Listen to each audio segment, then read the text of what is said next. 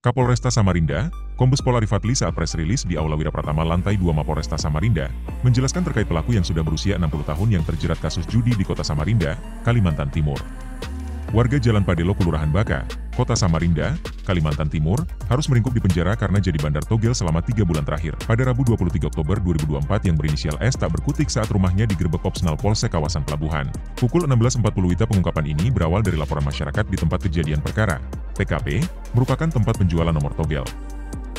Dari informasi tersebut, anggota Polsek langsung melakukan penyelidikan, dan pada saat penggerbekan pelaku sedang menunggu pembeli nomor togel, ia ucapnya Ari. Ari menjelaskan bisnis togel yang dilakukan pelaku, menggunakan aplikasi judi online, yang bernama Big Lottery, berasal dari Singapura.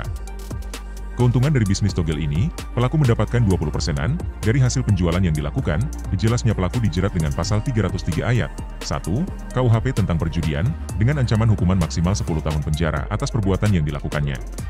Pelanggaran sendiri terdiri dari pekerja kapal, buruh bongkar muat, di lingkungan sekitar tempat pelaku tinggal, ditutupnya. Download Tribun X sekarang, menghadirkan lokal menjadi Indonesia.